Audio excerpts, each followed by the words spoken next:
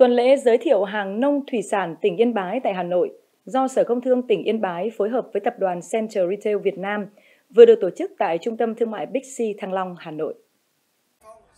Sự kiện này nhằm quảng bá, giới thiệu các sản phẩm nông thủy sản có thế mạnh của tỉnh Yên Bái, với điểm nhấn là các sản phẩm đặc sản của huyện Yên Bình như bưởi Đại Minh, cá hổ Thác Bà, gạo Bạch Hà đến đông đảo người tiêu dùng tại Hà Nội, góp phần tích cực hưởng ứng cuộc vận động người Việt Nam ưu tiên dùng hàng Việt Nam, hỗ trợ thúc đẩy hoạt động sản xuất và tiêu thụ các sản phẩm nông sản đạt tiêu chuẩn Việt Gáp, hình thành chuỗi cung ứng, nâng cao giá trị sản phẩm nông sản của tỉnh Yên Bái, từ đó đẩy mạnh các giải pháp ổn định thị trường tiêu thụ một cách bền vững, giúp các doanh nghiệp, cơ sở mở rộng và phát triển sản xuất.